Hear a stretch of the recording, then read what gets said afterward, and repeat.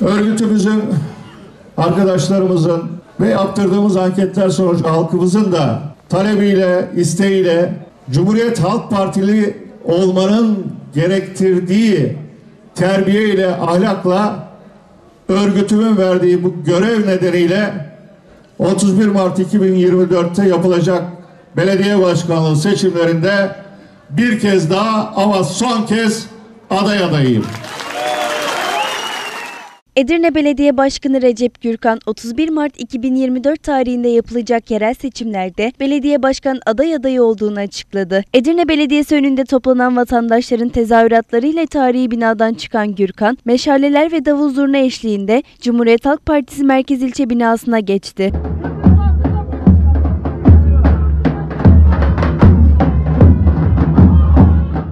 Burada aday adaylığı evraklarını Merkez İlçe Başkanı Yücel Balkanlı'ya teslim ettikten sonra parti binası önünde toplanan kalabalığa seslenen Başkan Recep Gürkan, 31 Mart 2024'te yapılacak belediye başkanlığı seçimlerinde bir kez daha ama son kez aday adayıyım diye konuştu. Örgütümüzle beraber önceki genel başkanımız Kemal Kılıçdaroğlu'nun isteğiyle, talimatıyla, kendimin talebi olmadan 2014'te Edirne Belediye Başkanlığı adaylığına atandım, görevlendirildim. Ve 2014 seçimlerinde sizlerle beraber olduk, beraber çalıştık. Ve halkımızın da teveccühüyle aldığımız oylarla belediye başkanı seçildik. Ardından 2019 yılında bu kez yarım kalan işlerimizi tamamlamak adına kendi irademizle aday olduk. Tekrar seçtiniz. Bu dönem il başkanıma, ilçe başkanıma, siyasetteki ekip arkadaşlarıma ve belediyedeki çalışma arkadaşlarıma benim artık son dönemim demiştim. Ben artık bırakıyorum gençler gelsin demiştim. Ama hem çalışma arkadaşlarımdan hem siyasetteki ekip arkadaşlarımdan örgütümüzden bir dönem daha yapacaksın dediler. Ben Cumhuriyet Halk Partiliyim.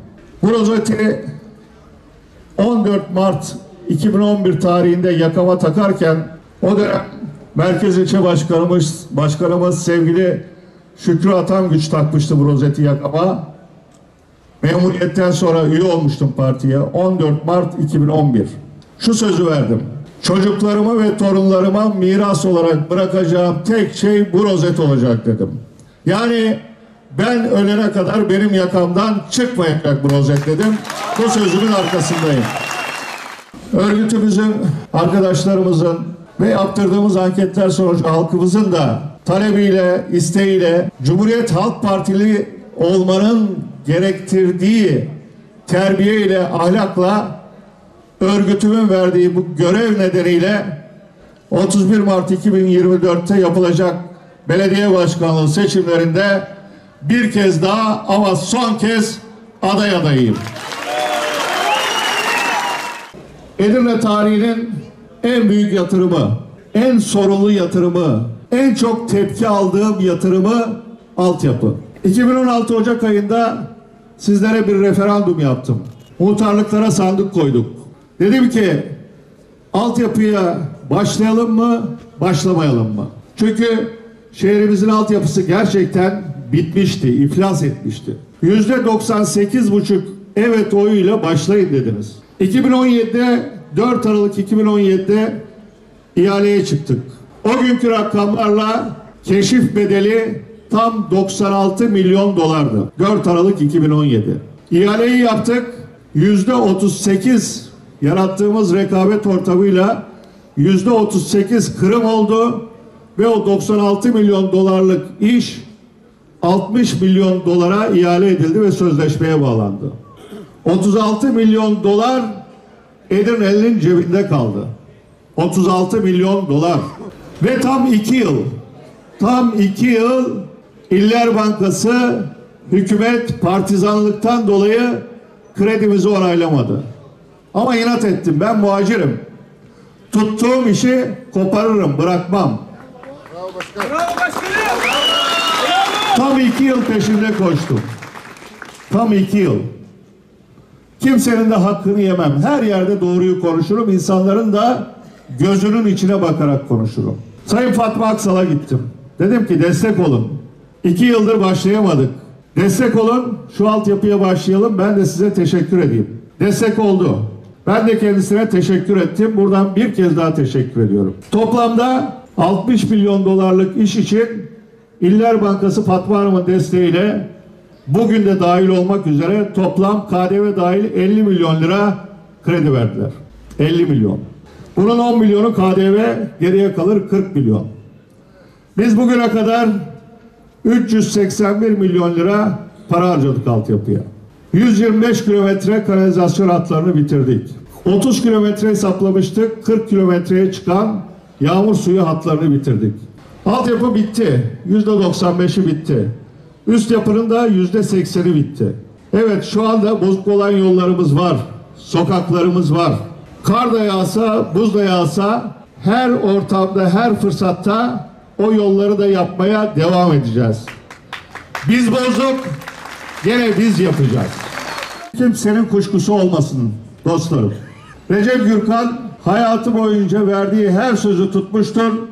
Başladığı da her işi bitirmiştir. Bunu da yine biz bitireceğiz.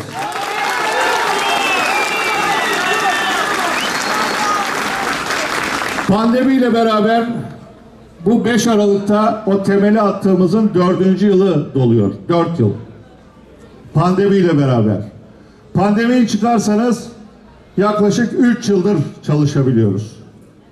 Kışı var, karı var, yağmuru var. 3 yıldır altyapıyı yapıyoruz. Bu yıl hepsi bitiyor. Üst yapıyı da bitireceğiz. Şehrimizi önümüzdeki dönem adeta bir düğün yeri gibi süsleyeceğiz. Ben size bunun sözünü veriyorum. Pırıl pırıl, ışıl ışıl bir şehir olacak Edirne. Vatandaşlarımız çok çekti. Ama ben altyapıyı şimdiki kuşaklar için yapmadım. Çocuklarınız için yaptım. Torunlarınız için yaptım. Onlar temiz yollarda yürüsünler. Kanalizasyon derdi olmasın. Sağlıklı borulardan sağlıklı içme suyu içsinler diye yaptım. Pandemiyle beraber dört yıl boyunca toz yutturdum.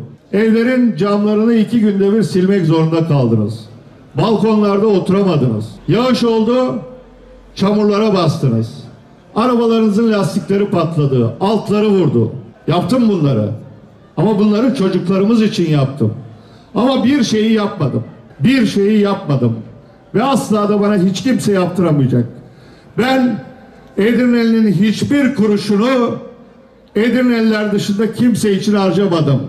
Edirnelilerin tek bir kuruşunu hiçbir tarikata, cemaate, vakfa yedirmedim.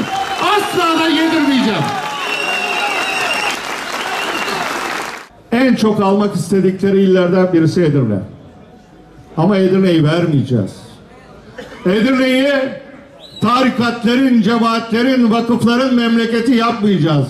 Edirne'de hangi inançtan olursa olsun, hangi siyasi görüşten olursa olsun, hangi dünya görüşüne göre yaşıyor olursa olsun, herkes Cumhuriyet Halk Partisi'nin bayrağı altında özgürce inandığı, istediği gibi yaşamaya devam edecek. Cumhuriyet Halk Partisi olarak Edirne'ye ve Edirnelilere sözümüzdür. Kimsenin, kimsenin bizim üzerimizden plan yapmasına müsaade etmeyeceğiz. Ve hodri meydan diyoruz. Bütün partilere çıkarın adaylarınızı halkın önüne çıkalım, yarışalım. Halk kimi takdir ediyorsa o hizmetine devam etsin. Edirne'mize, ülkemize hayırlı olsun. Hepinize saygılar sunuyorum.